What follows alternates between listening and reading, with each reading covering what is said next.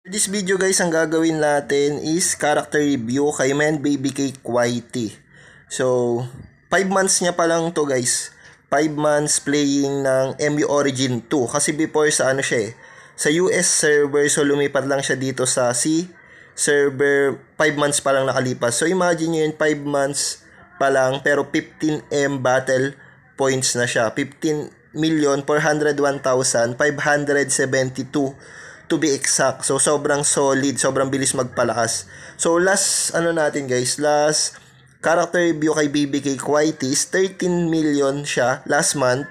So, pagkalipas ng isang buwan guys, is nadagdagan na siya ng 2M battle points. So, titignan natin guys kung anong mga progress sa character ni Man Baby Cake Whitey. At the same time, titignan pa natin kung may nabago pa sa mga gears or sa mga gems niya. So, yan guys, simulan natin to. Let's go!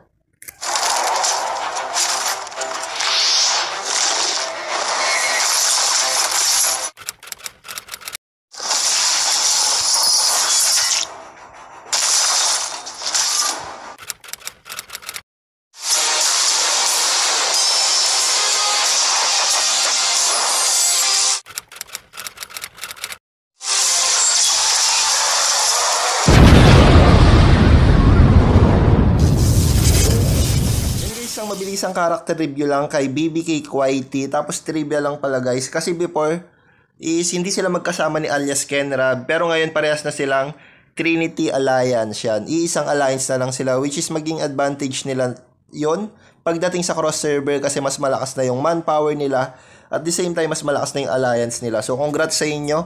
Nagkasundo na yung alliance ni alias Kenrab at the same time yung alliance alliance ni Men Cake Whitey. So, click na natin yung eye icon para makita natin yung base stats tsaka gears ni Cake Whitey. So, pag click natin ng icon, ng eye icon, so dito muna tayo mag-focus sa base stats.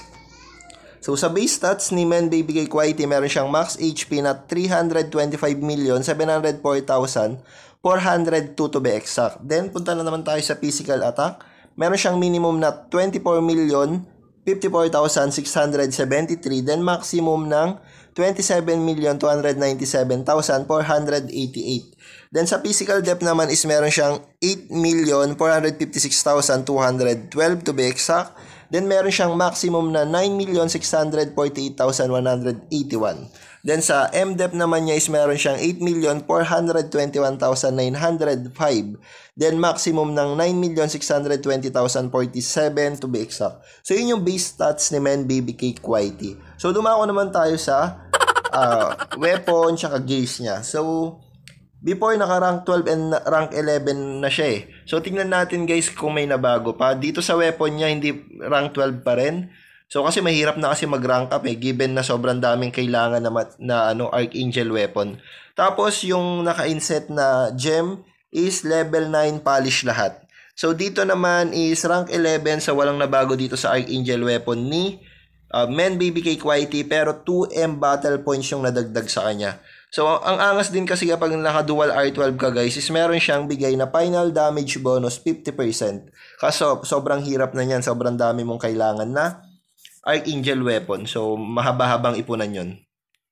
Tapos, yung gem na naka-inset is level 9, polish lahat. So, dumako naman tayo sa Archangel badge. Tingnan natin. So, rank 11 yung suot ni Men Baby Cake Whitey. Tapos, level 8, polish lahat. Tapos, dito sa uh, Archangel badge niya, Depth badge, is rank 11 din. So, dual R11 yung suot Baby Cake Whitey na meron kang makukuha na elemental attack bonus 20%. Tapos, medyo maliit lang naman tong 0.5% na damage penetration. Pero ang pinakamalaking bagay dito is yung elemental attack bonus na 20%. So, tingnan natin yung naka-inset na gem is level 8 uh, polish lahat. So, nakabalance yung gem ni Baby Cake Whitey. So, tingnan natin dito sa headgear, level 9, polish lahat. So, tignan lang natin yung mga naka-inset na gem para mabilis. Kasi, parang wala naman na bago dito sa gem na, ay sa uh, armor and accessory niya.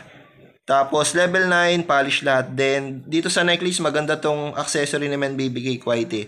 So, with attack bonus, 2.3%. Tapos, level 8 and level 9, polish lahat. So, tignan natin tong uh, gloves. High depth bonus, oh. Sobrang taas ng depth bonus. Yan. Tapos tignan natin yung naka-inset na gem is level 8 and level 9 polish din lahat. Then dito naman sa ring is meron siyang high excellency strike and high attack bonus also. Sobrang ganda ng ganitong ring eh. Meron siyang high attack bonus tas meron pang high excellency strike. Mahirap maghanap ng mga red na ganyan. So meron siyang level 8 polish lahat. So sa isang ring tingnan din natin. So merong high excellency strike. The same time meron ding high attack bonus. So sobrang ganda ng accessory ni Men Baby Cake Whitey. So level 8 polish lahat. So, dumako naman tayo sa pants is ganun pa rin yung pants ni Men Baby Cake Whitey. Tapos, level 9, polish lahat. Tapos, tingnan pa natin dito sa boots, level 10, polish, emerald lahat. So, wala pang elemental gem si Men Baby Cake Whitey when it comes sa weapon and armors niya. So, titingnan natin sa spirit gears and mount gears niya mamaya. So, pumunta na tayo ga- kagad doon sa spirit gears para mabilis tayo, guys. So, pag-click mo ng Spirit Gears, uh, number one, si alias Kenrab, nakagagawa lang natin ng character review. Then, number two, si Men Baby Cake Whitey. So, take note guys ha, 5 months pa lang lumalaro to si Men Baby Cake Whitey. So, aabangan talaga natin to sa mga susunod pang buwan kasi sobrang bilis magpalakas Baby Cake Whitey.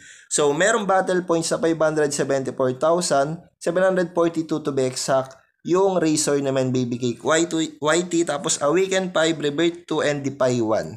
So, tignan natin yung Spirit Gears niya. So, sa Spirit Gears niya guys, kung mapapansin nyo, without Awaken pa.